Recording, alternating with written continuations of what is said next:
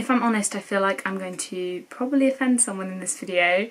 Um, so if you have any comments, questions or concerns, um, please put them in my freshly made worry box. Uh, yes, I am a DIY queen. Thank you very much.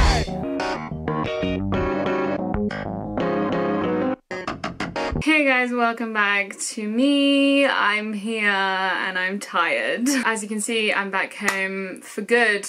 I mean, for good for the next five, six weeks until I officially move out for good. Ah! A busy week. I've just been getting on with trying to prep myself for my new school. Um, I had my induction day and it was a lot of information to take on board but I'm really excited. I got to my class. It was very scary but also wonderful and yeah, I'm feeling like a real adult with real responsibilities, which I don't really like. This video, however, is a brief break from that adulthood to talk about something that I was asked to talk about. Um, should I talk about it? I'm not sure. now, I really don't want to say this girl's name wrong. Elise. I'm thinking that's what it is. Well, Elise, that is a very good question. now, I want to preface this video. Um, if you're watching this just as a viewer that wants to know a bit about Durham and its drama.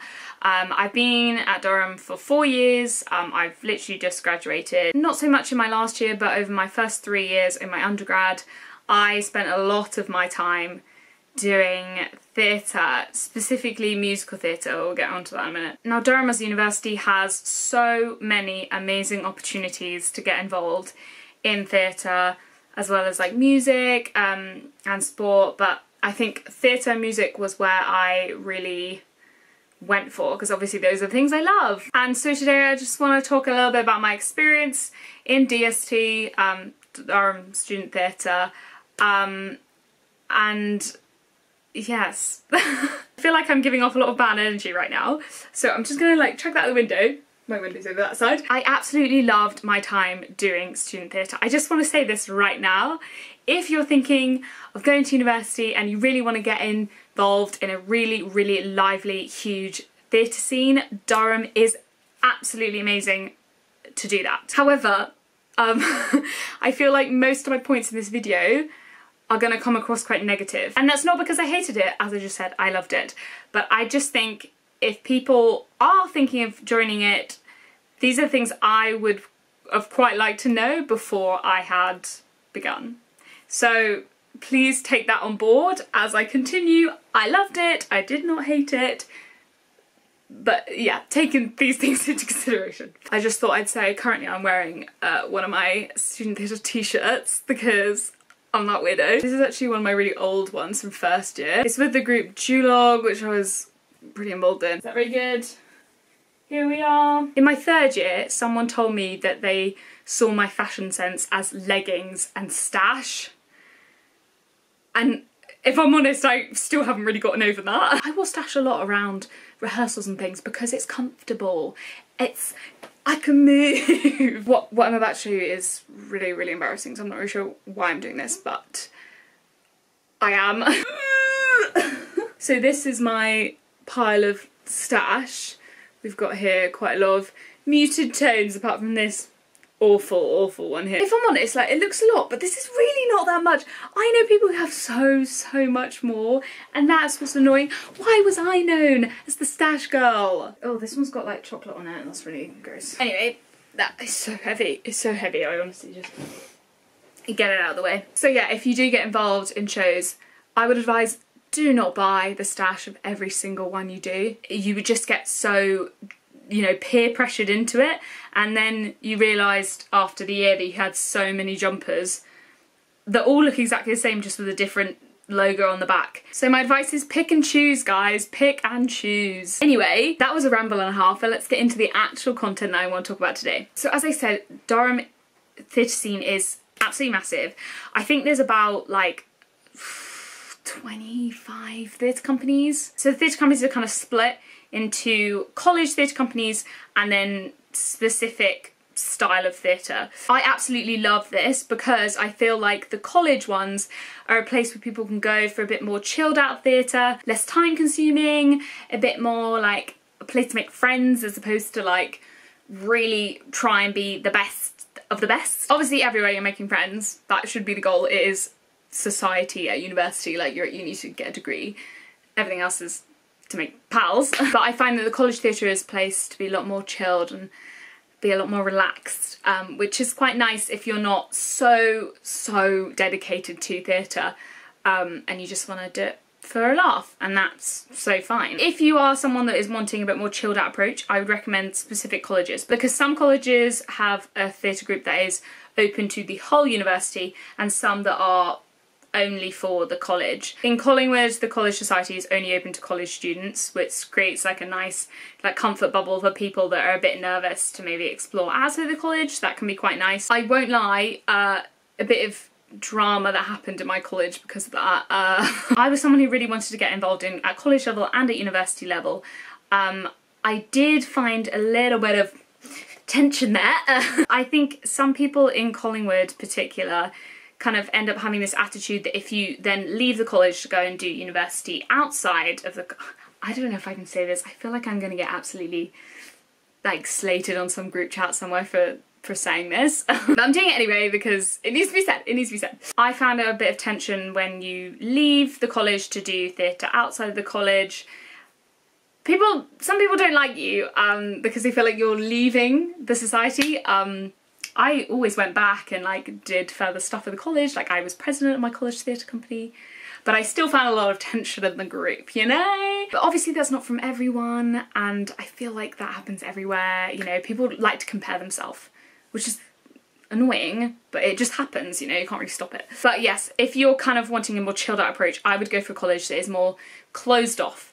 Um, it's less competitive, it's more of a, like, everyone gets in, everyone enjoys it, which is nice, like, security if you, if you don't want the stress of it. And gosh, I know that auditions can be incredibly stressful, so if you want something that guarantees you to get in, I would go for a college that's closed off. That was a ramble and a half. I'm just really scared I'm gonna get absolutely destroyed.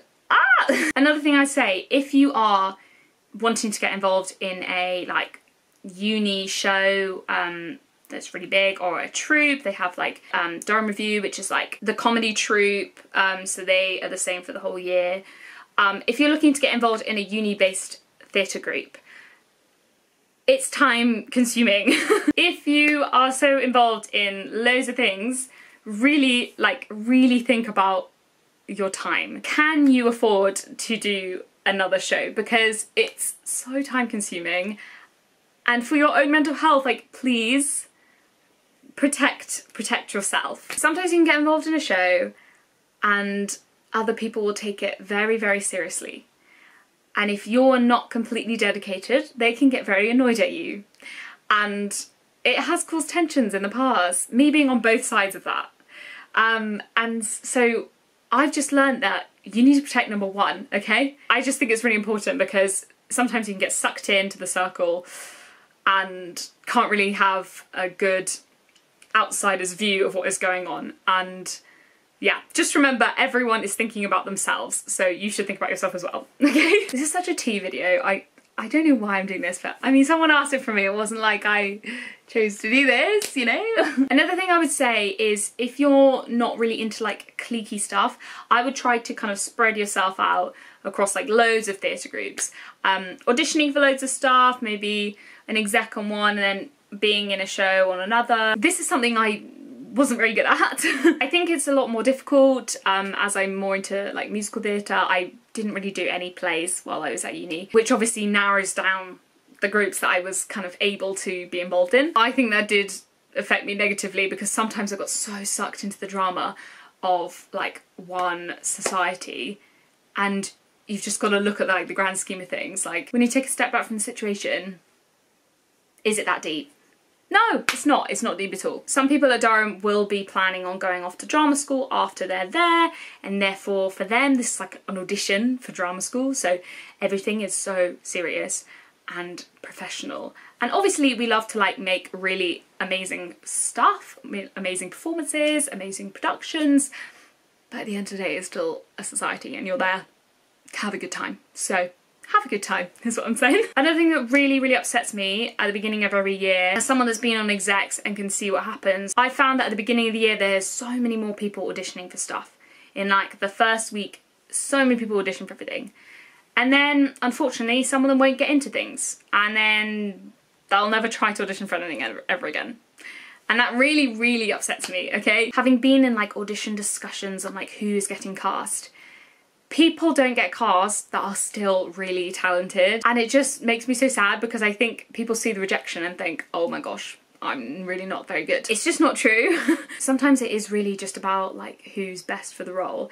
And I hate to say it, but sometimes it is also about who is already known by the team and that is a whole different issue which I've always hated. Who knows who, it, it affects people in the professional industry and at student level, it just happens. So just keep trying for things. I know it's quite difficult, get rejected and rejected, but like you'll get into something and it'll probably be an amazing experience and just, yeah, don't give up.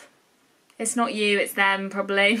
Another thing I'd want to say is if you're thinking about getting involved in execs, obviously if you're coming in from first year, um, that's not really a kind of thing you can do because the execs have already decided. But like second and third year, pick a society that you feel really passionate about firstly, that you've been involved in before, you kind of know the general vibe of it. Execs are a lot of work. Um, I was on exec for second year as a social sec and then third year I was a secretary for one society and president for another society. It takes up a lot of time. Um, if you're invested and excited to be involved, it's amazing and it can be really good for the CV if you milk it like I do. But I've also seen many people sign up for execs, um, not just in theatre, in music and everything, that just put zero effort in and make loads of other people in the exec do all the work. Um, and that's not cool, mate. It's not cool. There are set roles in the exec to do their own thing. And if you don't do your work, that means someone else has to do more. So... so if you're applying for exec, just make sure you're ready to do it, basically. I don't know if I want to say anything more. I really hope I haven't caused tea in this video, and I really also hope I haven't put anyone off from doing student theatre, because it is amazing. I did 20 shows over three years. Um, some of them I struggled with, it was quite difficult. Others I absolutely loved. And obviously the ones I absolutely loved made me keep doing it, so, you know, you do it for a reason. I found that just in every single production I would go in with like a really positive outlook on it, really excited to be involved, and then unfortunately some people would get my mood down. Um, but I think that's the aim is go in with a positive attitude and try your best to keep the attitude up. And hopefully you won't even have to try that hard. My favourite shows I didn't have to try at all because it was just effortlessly fun. My last show, Dogfight, was my favourite one that I did. Obviously I was glad that that was the one that it finished on, um, so I've got a good kind of like rose covered um, view of it now. I hope this was helpful. Once again, I hope it wasn't off-putting. Um, I feel like now that I've left Durham, I really can say whatever I want. So that's why I did this now and not when I was at uni. Thank you very much for watching. Please subscribe. Uh, if you have any other questions about Durham, message me. I might make a video if it's enough content to talk about. If it's not, I'll just reply to your messages. I've recently set up a new teacher Instagram. Um, it used to be a singing Insta, but I'm trying to get more teacher stuff. Teacher Instagram is like a whole cult world and I absolutely love it. There's so many amazing ideas on it and I just I just want to get in on it. So um yeah, at missb.ect on Instagram. Ooh. If you want to follow my teaching journey, please subscribe as usual. Um, and if you're into like theatre stuff, which clearly, hopefully you are if you've watched this, then also subscribe. right guys, see you very very soon. Lots of love, goodbye.